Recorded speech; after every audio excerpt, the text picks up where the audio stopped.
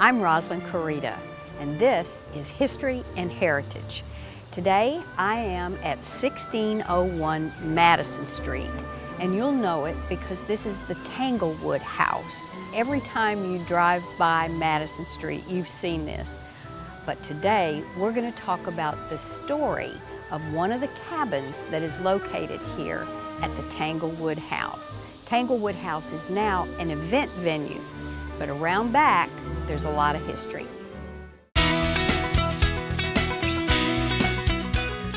Hello, my name is Kenny York and I'm with Manna Cafe Ministries. Our goal is to feed as many people as much as we can. You can help us with that by just going to our website and, and clicking on donate now and become a friend of Manna and see what that's all about. Our phone number is 931-933-0970 and I'll appreciate your help. Thank you so much. Hi, this is the Restore. My name is Catherine Norbeck Daly and I'm the manager here at the Habitat for Humanity Restore. Everything we sell in here is donated. All of the proceeds go to benefit the Habitat for Humanity homes. We take windows, doors, building supplies, cabinets, household goods, and we will pick up. The Restore is located in downtown Clarksville at 408 Madison Street across from Madison Street United Methodist Church. The phone number is 645-4242. Call us to schedule your next donation pickup.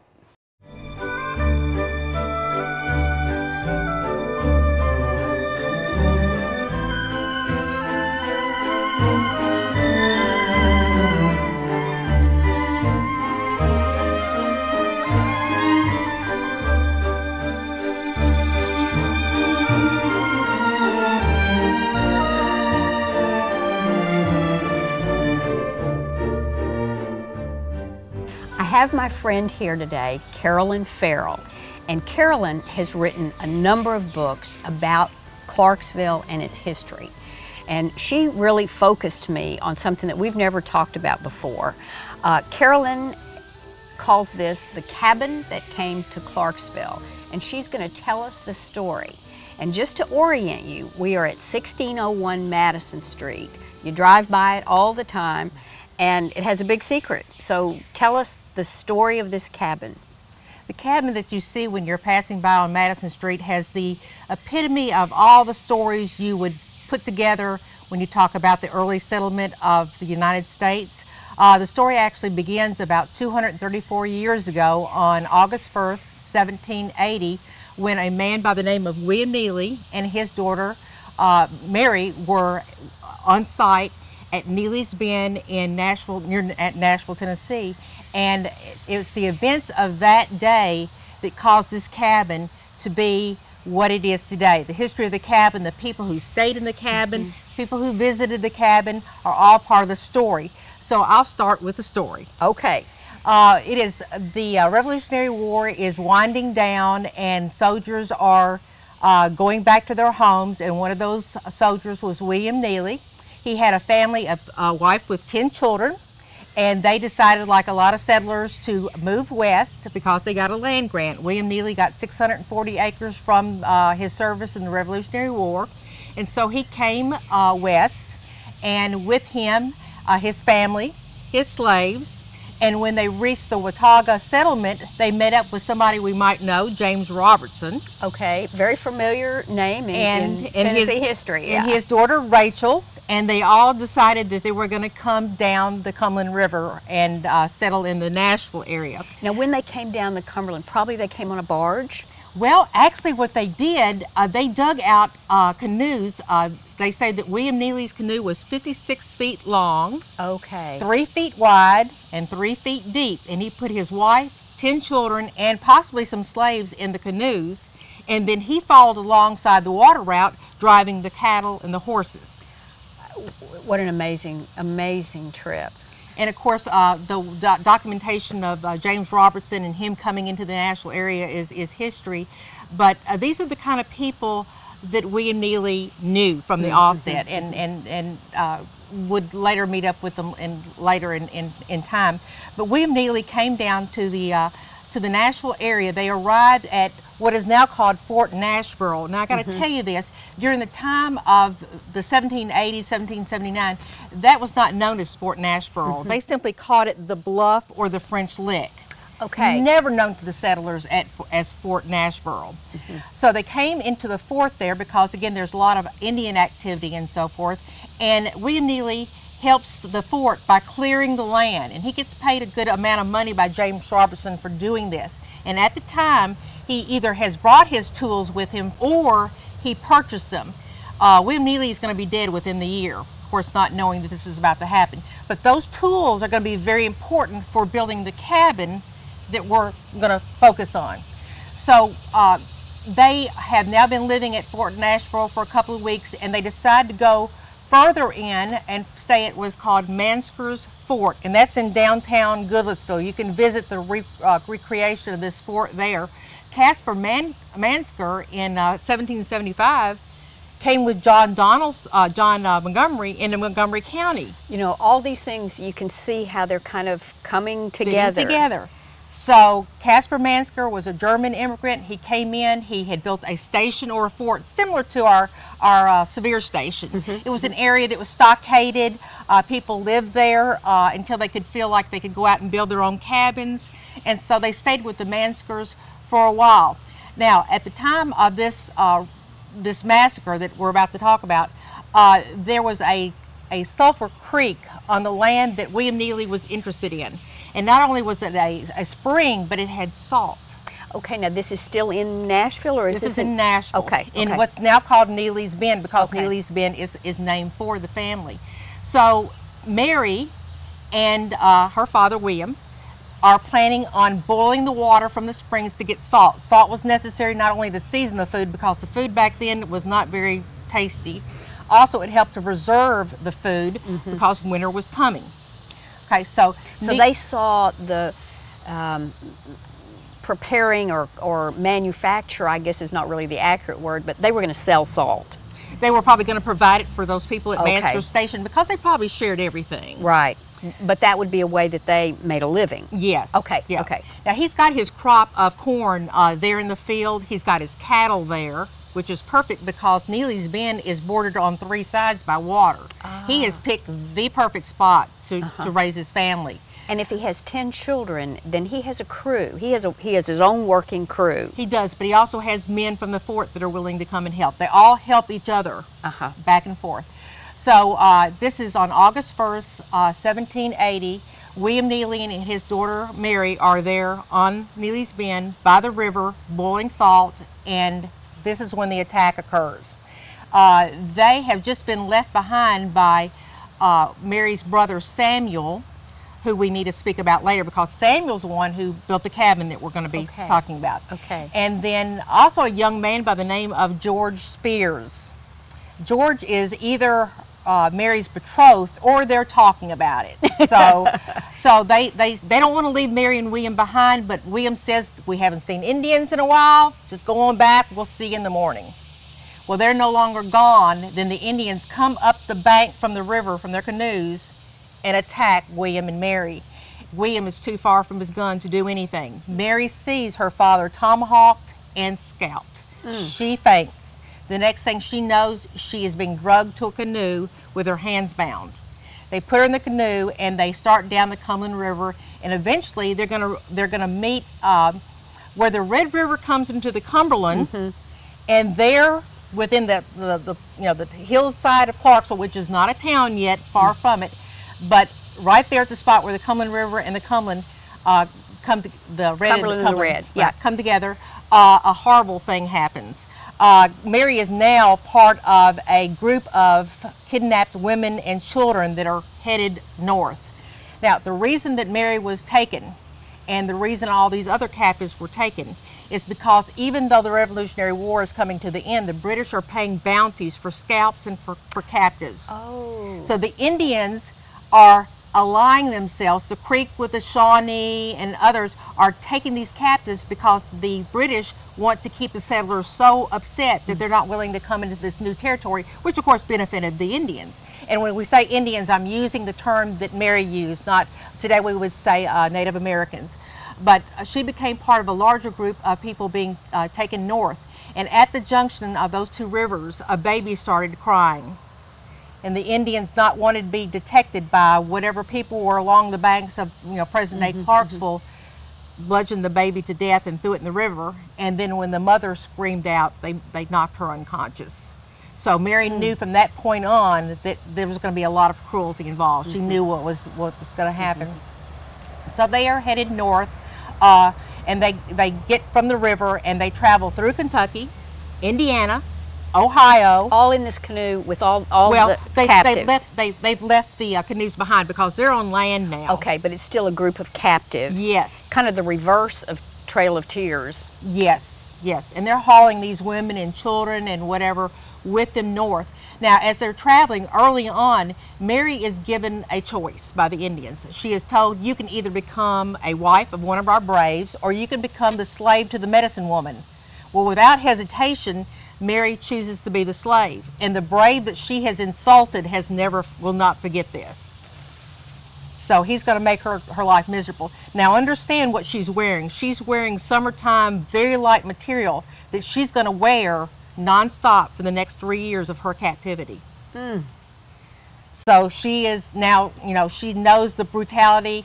At one point, she leaves her bowl, uh, and they have traveled forward, and they refuse to feed her because she's left her bowl. So she's got to march back by herself two to three hours to get her bowl before they will feed her. It's just Let me ask you this. Um, this sounds like this is very well documented history. I mean, you know this story. How, how is it that you learned this? I mean, I know that you are an author and that you research. Where did you find this information out? There's a lot of information in, on the internet, but a descendant by the name of Patricia Terrell wrote a book chronicling the life of uh, Mary Neely, and you can you can of course buy this book uh, off of Amazon wherever. But uh, I will say that some of the facts in here are a little bit different from what Mary dictated to her grandson years later. Mary says that her father was tomahawked. Patricia says that he was shot. I tend to agree with the person who saw it and with the, the fact that if you shot the person, you would uh, have alerted the people who just Mm-hmm. left and they would have come back. So there's some discrepancies in the in the book and what Mary said, but Mary did tell people in years later. So what it was a first-hand account. So that's why this sounds, you know, when we talk about the bowl, and I mean, you really, that was from the horse's mouth. Right, So to speak. right. Okay. So Mary is uh, traveling along, uh, and so how does that, how do we get to the cabin? Okay. Uh, eventually, she is going to escape, and her escape is nothing more than miraculous. She gets away from the Indians, away from the British, because the British are taking her and the captives that they have now acquired uh, by boat or by ship somewhere. They don't know. They're suspecting back to England, maybe, and the the the ship founders. And Gosh. while it's, it's wrecked on the rocks, the women are getting off, and one of the men who's sympathetic to Mary says, "Run and keep going south until you reach such and such." So she is told, "You need to avoid this river because it goes into the Great Falls, Niagara Falls." She's up in Canada. Okay, that's how far north she is. And by the way, she was taken to Fort Detroit to be exchanged for the bounty and so forth. So Mary is now free, and How she's, old is Mary? She's uh, she was 19 when she was captured. She's probably 22 at this point. Okay. And remember that she all through all these three years that she's been captive, she's wearing summertime garb, and she has no coat. Very few. She she makes uh, shoes. Uh, she figures the only reason that the Indians kept her alive is because she could sew so well. And that, but many times she would ask them to kill her. She was in such misery from pain, and uh, she caught smallpox. You heard stories about the British giving out blankets to the Indians that had smallpox. They did. She caught it. She survived. So she has, while she's traveling, she's learning all these things from the medicine woman. She's learning to use natural herbs and Right. cures and so forth, which is going to be very important later on. So she escapes and she makes it back. So does she make it back to Neely's Bend? She does, but uh, the story of her getting there is a little bit interrupted because of a good event. She uh, is on the Wilderness Road by herself. She runs into somebody that knows her, that's been looking for her. Now, her brother Samuel never gave up hope of finding her. He's looking for her, he's asking about a, a girl that is left handed and uh, different characteristics of her. And this Jim Hawkins finds her on the Wilderness Trail, and he says, "I have heard of a man named Spears that you might know."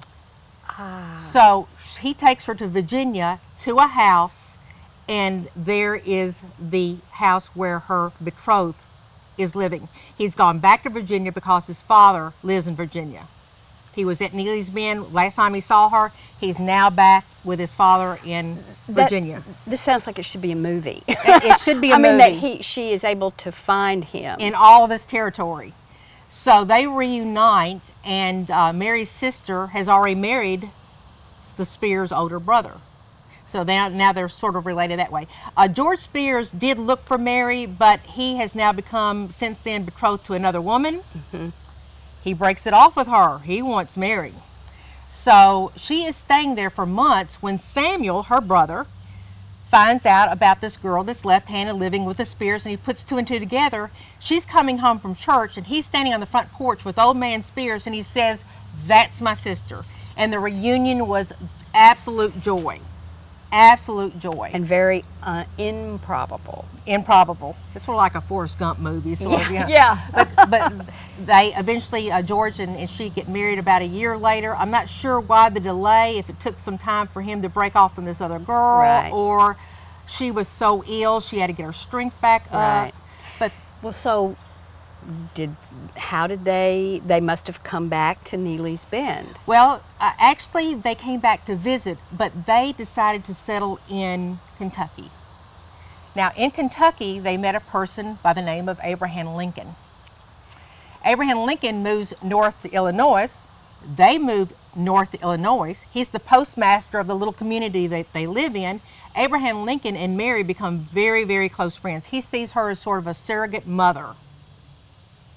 Okay, but going back to Neely's Bend, Mary, once she's reunited with her brother Samuel, gets to hear another massacre, which is going to make her an orphan. Uh, her mother, living back at Mansfield Station, a widow with nine children because Mary's not there uh, at that point, uh, has a, a crop of flax over Neely's Bend. Now, flax is the material of choice for clothing. One acre of flax will clothe one person, and she's insisting she wants to go see her crop of flax. And the men of the fort telling her, This is not a good idea. Uh, you don't really need to go. There's Indian. No, she said, If you won't go, I'll just take a bunch of my women friends and we'll go. They said, No. So Samuel goes with his mother and with several men climb on a horse. They're armed and they go to Neely's Bend to look at her flax. Guess who's waiting for them? The Indians. The Indians. Samuel's gun lock jams. He can't fire. His mother's so terrified that she won't hand her rifle over to him to fire. She's uh, just totally terrified. Another guy receives seven shots. He's wounded seven times. He falls back. Another man, horse rears up, and he's traveling the opposite direction. So the mother, being the mother that she was, to protect her family, her son, she rides her horse right into the Indians, and they get her. And so Mary has lost her. Both parents. Yes. To the Indians. So, okay, now we are back in the Neely's Bend area. Right. So who builds the cabin and why? Okay. Samuel is now given the the uh, land, a lot of the land in the area. He feels it is now safe to build the cabin. Okay. So he takes the tools that he inherited from his father Okay. because you can tell these are not just rough, uh, you know, put together. This is a very organized cabin. They are straight board. Uh, this is virgin cedar, which is a very good uh, uh, wood to use. And he puts chinking in. A chinking, he used chert and horsehair and mud to fill in the spaces between the logs. And he built this, this cabin. The cabin, as it was originally designed, was a room on one side, dog trot, and a room on the other. Okay.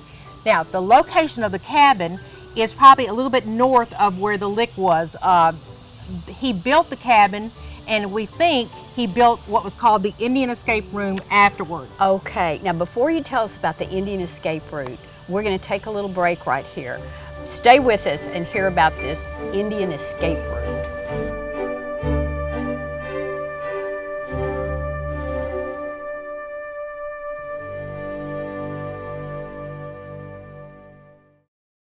Will you become a guardian angel? The Humane Society has been saving lives and helping families since 1968.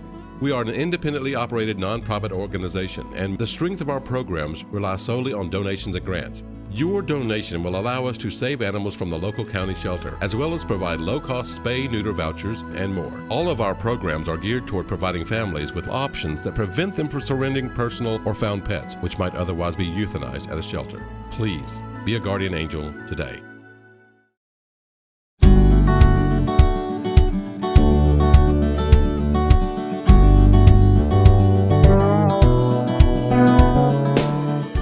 Manna Cafe was founded because one man felt called by God to feed the poor. Hello, my name is Kenny York. I'm founder and director of Manna Cafe Ministries. Hunger is a reality here in Montgomery County. Numbers say that one in six adults suffer from food instability. That means they don't know where the next meal is coming from, or they may go to bed hungry. And one in four children, that means children in our own backyards are going to bed hungry. Those numbers aren't going away.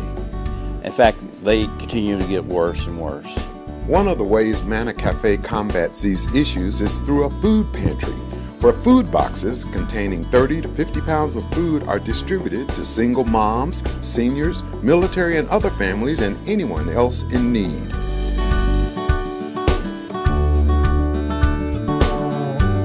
With a team of dedicated volunteers, Manna Cafe has provided food to thousands of people in the Clarksville Montgomery County area. Because Manna Cafe is also committed to going where the need exists, the mobile cafe program consists of taking hot, appetizing meals to various outdoor locations throughout the community multiple times per week.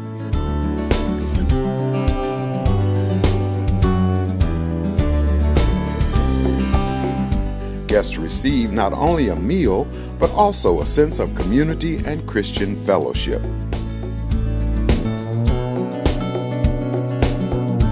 Through the mobile pantry program, Manna Cafe periodically distributes thousands of pounds of groceries at various locations throughout the city. Every day, Manna Cafe sends out trucks to pick up food donated by local businesses and food drives and through partnerships with national organizations such as Second Harvest Food Bank, Feed the Children, and Feeding America First. Manna Cafe also offers services to Clarksville families such as a free medical clinic and counseling with an on site chaplain. Here at Manna, it's not just about the food. It's about restoring dignity. It's about loving our folks. It's about telling them that they matter while we're trying to minister to their basic needs, which is hunger.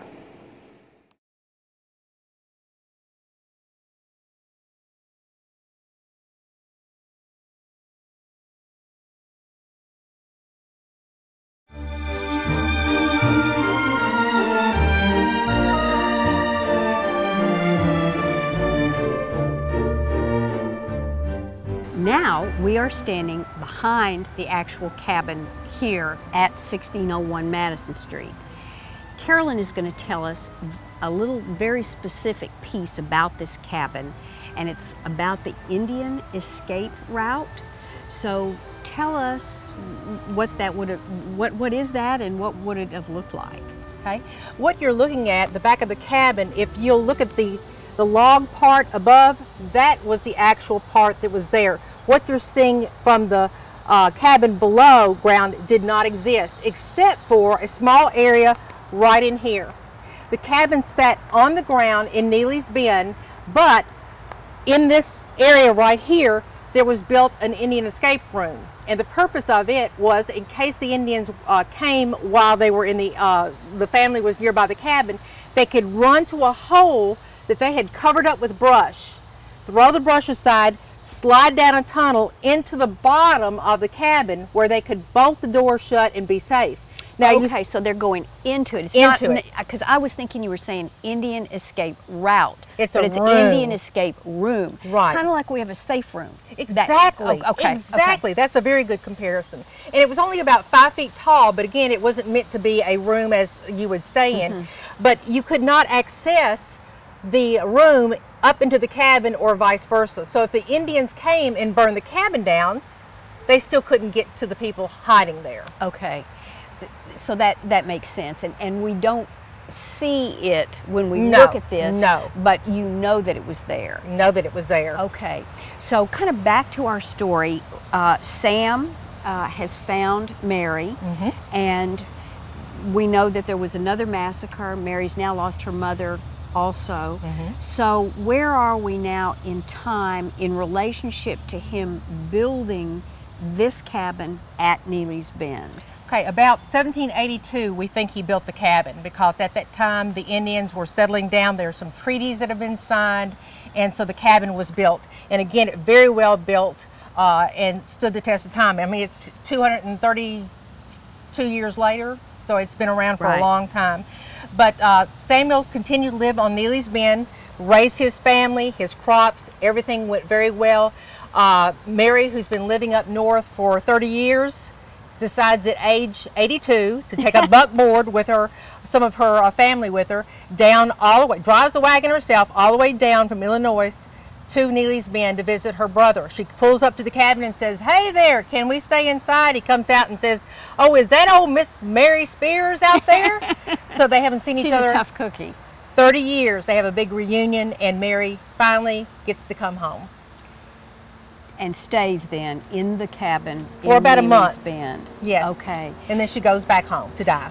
So, if he raised his family in Neely's Bend in Nashville, there must be a lot of descendants that are still in the Nashville There's a lot of Neelys, and we have one here in Clarksville. Mrs. Lewis Pace is a descendant, as I understand. There's some others living here. Uh, the Neely family, of course, William had 10 children and Mary had eight. So there's a lot of, a lot. lot. Right. And I know that you're gonna, we're, we're gonna do a whole show on how this cabin actually went from Neely's Bend in Nashville and wound up right here in Clarksville. And kind of on a side note, you've told me that there are a lot of cabins in Clarksville. Tell us just a little bit about, and I know you research everything, so you know, but how many cabins do you think there are in Clarksville? There are a lot. I keep hearing people telling me that, oh, there's one here and there's one here. Uh, I know for a fact Mrs. Uh, Green's boarding house on 7th Street, you can still see the cabin, part of the house that is there, and it's for sale now.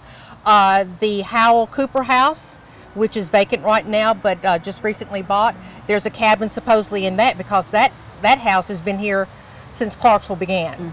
Okay, there's also, uh, there was a, a house on Greenwood Avenue that was a Hart Caldwell house. Miss Miss Hall saved that cabin too, and it's part of her new Holland Hills down in Joelton. So log cabins from Clarksville are now in Joelton. And Hyla, Phyla Hall has done a lot of, I mean, she saved a Yes. lot of cabins, and I don't think she's ever been really given the credit She needs for what be, she yes. did. Because if it hadn't been for her, places like this, one wouldn't be in Clarksville. This would have been demolished. right, right Demolished. so we have a lot, a lot of history that Carolyn uncovers frequently.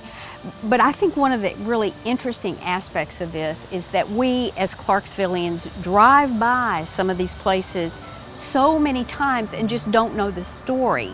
So you you do have, I mean, you've done a lot of research, you write books, you have all kinds of this documented uh, for us as Clarksvillians. Um, and you know, the name of our show is History and Heritage, and Right. nobody does it better than you. Oh. I- um, so this particular one, when was it moved? What what year? 1968. They were about to put in a road. I'm suspecting it was probably the old Hickory Boulevard that crossed the Cumberland River, and they were going to burn this to the ground. Ah, what a loss that would have been. Right. Well, we are going to talk about how it was moved and how Phyla did that in our next show. So, Carolyn, thank you. This is our history and our heritage.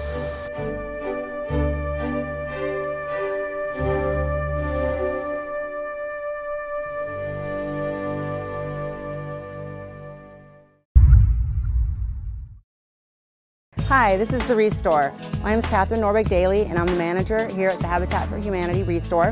Everything we sell in here is donated.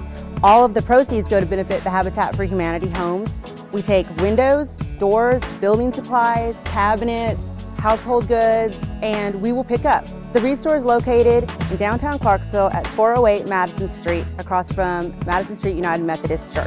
The phone number is 645 4242. Call us to schedule your next donation pickup.